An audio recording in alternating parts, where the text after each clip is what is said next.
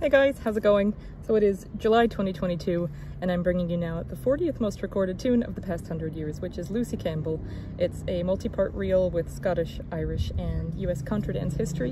Um, I'm outside today because it's very beautiful. It's like a heat wave today, so it's like 75 or 80 degrees.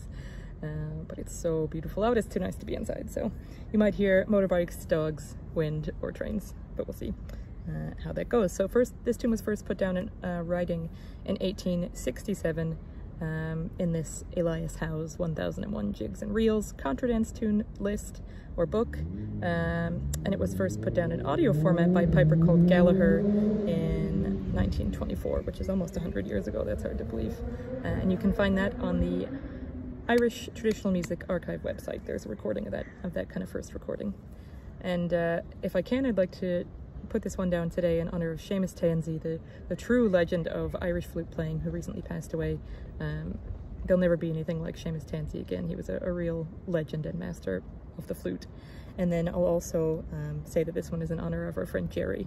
Um, it really, this tune really reminds me of Jerry and all of our years playing in Devitts. So we'll try it on the E-flat Vincenzo DeMauro flute, uh, Lucy Campbell 40th most recorded, most recorded tune of the past hundred years.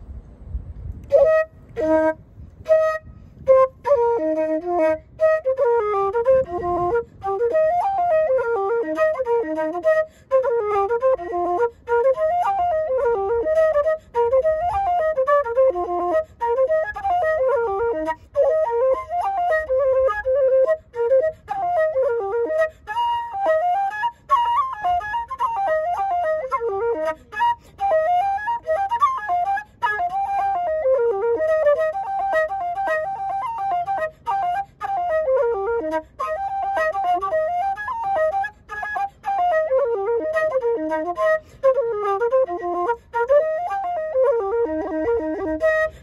Boop boop boop boop.